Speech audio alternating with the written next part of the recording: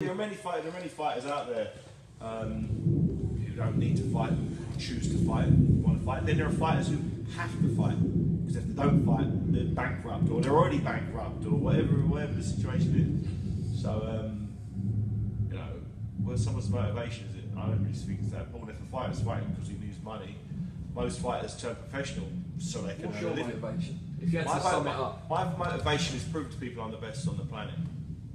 Plain and simple. I just want people to say, okay. But then I can't prove to everybody. As long as I can prove to myself that. I can say it, I can say, yeah, I think I'm the best on the planet. It's like, eh, well, really? so what would it take to do that? To satisfy yourself, To satisfy, you're to the best. satisfy that is to beat some big names that people want to see.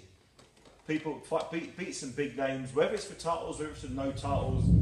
As long as there's big fights that people remember in years to come, and they can say, "Yeah, remember the 2000s and uh, remember David Haye, well, cruiserweight champion, heavyweight champion. Yeah, yeah, yeah, a good fighter. Him. I remember when he fought this guy, that a, yeah, that's what you want. You can do no real more than that. You know, it's, it's tough. You could hypothetically unify all the belts, then get knocked out in the next fight, and you lose them all, and then it's oh, you, you shit, really.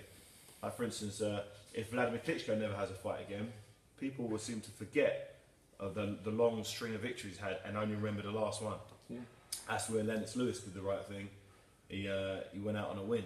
He went out on a win and went out on his terms. You know, um, he probably didn't need that last fight. People was he doing that last fight for the money?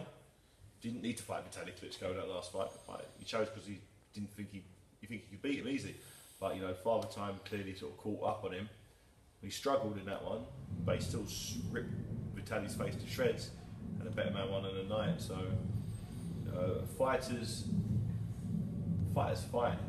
Why are they're fighting, I, I really couldn't care less. You know, un- unless it gets to a stage where Roy Jones is getting knocked out by Enzo Maccarinelli, that's when it's like, oh, I don't like that. Or when you know fighters that I've grown up to and love and cherish are getting knocked out against guys they shouldn't be getting knocked out about. But while they're winning, great.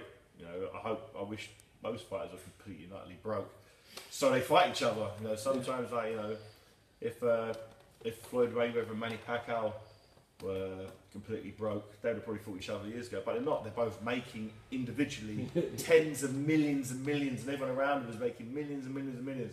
So they fight each other at some stage. But every big fight happens that makes money.